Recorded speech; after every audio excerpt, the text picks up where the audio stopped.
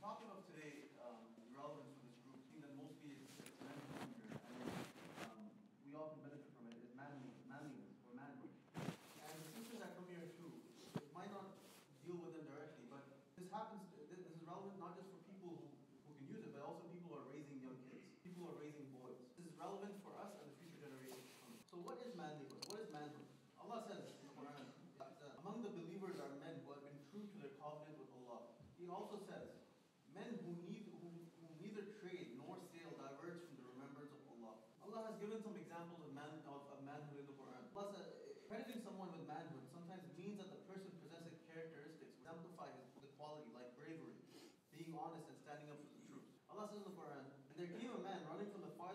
farthest end of the city. He said, O Moses, O Musa, verily the chiefs are taking counsel together are taking are, are taking counsel together about you, to kill you so escape. Truly I am one of those who gives sincere advice. You can see that one of the characteristics that Allah emphasizes is someone who gives even in times of difficulty, times of hardship. He goes on to say, and believe and a believing man from the Pharaoh's family who hid his faith, because of course the Pharaoh was oppressing everyone, he said, you kill he stood up to the Pharaoh, he said, Would you kill a man because just because he says, My Lord is Allah, and he has come to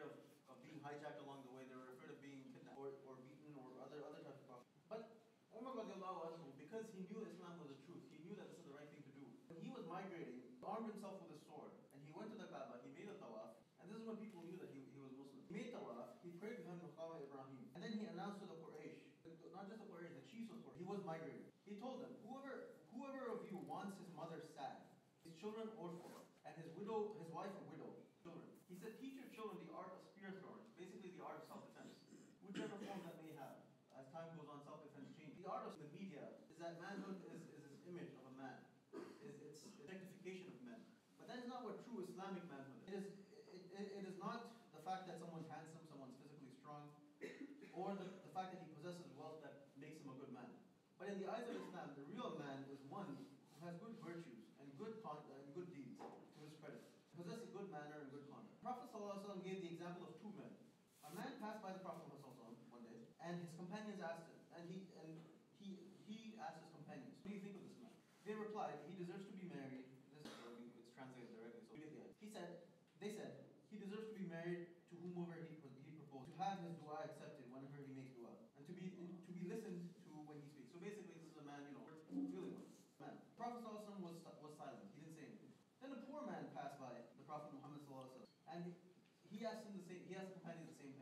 They reply, He deserves not to, not to be married to whoever he proposes, nor have his dua accepted when he makes dua, nor to be listened to when he speaks. So basically, this is, you know. The Prophet Muhammad then said, This is one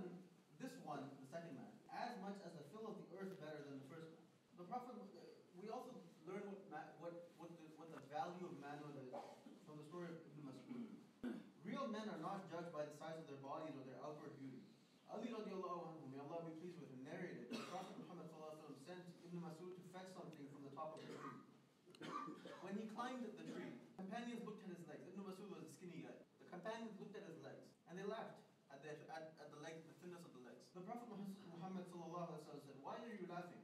Verily, Abdullah's legs, Abdullah ibn Masud, will be heavier on the scale of day on the on the scale on the day of resurrection than Mount Uhud. The definition of real manhood. Real manhood means being thoughtful, uttering good words, having decency and solidarity. Real manhood entails a sense of responsibility to def- defend Tawheed. Give sincere advice for the sake of Allah. Back to the story of the, uh, uh, the, the example of the man in the prophets in, in the Pharaoh's family, um, the one who was hiding his his, uh, his iman. When his, the manhood means resoluteness in opinion.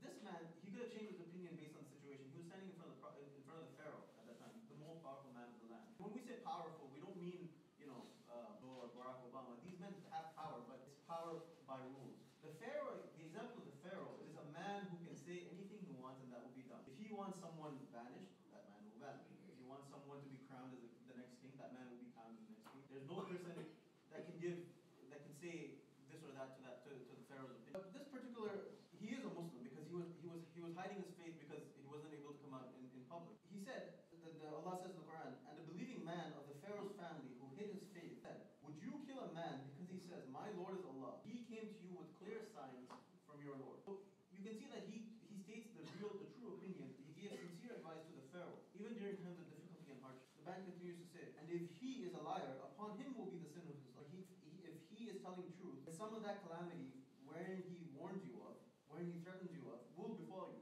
Verily Allah guides not one who is a musrif, a polytheist, a murderer, who shed blood, and who's a liar. So you can see manlyhood, manhood is, is something that tried during times of difficulty, not one that comes out during times of ease, not one that comes out during when the cameras are, are bright and the lights are bright. Manhood means being, it means avoiding unsuitable behavior and being on one's guard against the, against the day of resurrection, the day of judgment. Allah says, Men who neither trade nor sale divert them from the remembrance of Allah, nor performing salah, nor from performing salah, nor from giving the zakat. They fear a day when their hearts and eyes will be overturned from the horror of torment from the in, of the day of resurrection. A real man is sincere in his words, fulfills his promises, and he remains firm of the, on, the, on the right path. Allah says, Among the believers are men who have been true to their covenant to Allah. One of them of them, some have fulfilled their obligations, and some of them are still waiting, but they have never changed in the least. We have recently seen in the media that men try to sell themselves based on man, based, based on, on showing themselves as manly. They, they come out as liars. They're, they're politicians, they're leaders, they're, they're businessmen, they're actors, they're You've seen it in the media at different times, each event that comes through our life, we see men trying to pose as certain certain objects, trying to sell you an idea. But we all know when we look deeper that there is something hollow within themselves. They when they come on camera, they seem very nice, seem very elo- uh, eloquent because everything is scripted. This is how right now I'm very confident in you, in front of you, saying this because I, I, I spent three hours, you know, hour, two hours thinking about this. They also seem very powerful when they come on camera. But the real character, what they do when they go off camera, is very different. Those, they are not those of imposing, true men we're talking about here. They are not those of imposing physical stature, stature, whose minds are devoid of any sense. For such people are most certainly not real men. The real men whom we are talking about are those, are those whom Allah describes when He says, And the slave of the most beneficent are those who walk on earth in humility and sedateness. And then the foolish address them with bad words, and they reply back with mild words of gentleness. And those who spend the night before their Lord, prostrate, prostrate and standing. And those who say, Our Lord, avert from us the torment of hell. Verily, its torment is an is ever an inseparable permanent punishment. Evil indeed it hell, an abode and a place of dwell. There's Prophet the last thing I want to pose in the first khutbah is Prophet warned us of, of not losing our manhood, losing our manliness. And what worse calamity can befall mankind than for it's meant to become effeminate, to, to, to lose their manhood, lose their manhood. When it when its women adopt male mannerisms, revolting against the very nature in which Allah created them. Prophet Muhammad sallam, first the men who behave like women, and the women who behave like men. In another, in another narration, he said, cast them out of your home. I'd like to conclude this khutbah with, with a brief summary. Manly, manhood is very important in Islam. It's taught, it's, it was taught by the prophets, it was taught by the, by the Sahaba. The Prophet curse those who lose their manhood, who lose their, who lose their manhood, and start imitating the, the, the, the other side. Allah says in Surah Nisa, men are the protectors and the maintainers of women, because Allah has made one of them excel the other. On the day of Friday, there's a lot of sunnahs that the Prophet Muhammad uh, taught us to do. And one of those sunnahs is to send salutations on the Prophet The Prophet said, send frequently send salutations on me on Friday during the one salutation on me, Allah will send ten to it. I, there's a list of ten of ten benefits of sending salutations to uh, to the Prophet Muhammad. First, the first one, number one, is doing this act makes you close to is following Allah's order.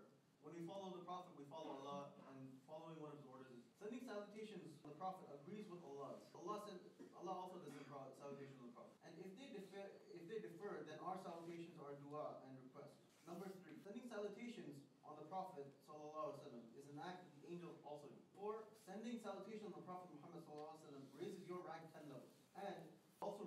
10 deeds away from it and adds 10 good deeds to you. Sending salutation on the Prophet Muhammad means to draw you closer to the Prophet Muhammad on the day of Sending salutations on him also allows you to end, to allows him to return the same to you. Sending salutation on the Prophet